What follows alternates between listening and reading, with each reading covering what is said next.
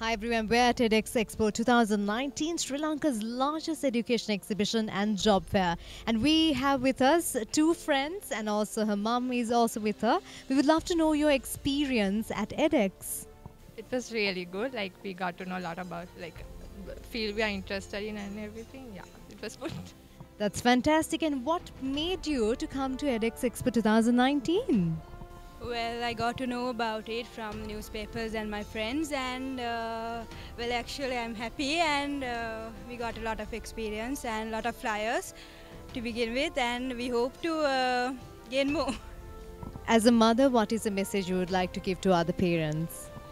Yeah, really, it's a very good place because, like we parents, we are expecting a good for our children. So, while guiding with this, we can send our children to the correct path and to uh, to uh, carry on their careers. That's wonderful, and we wish you all the very best.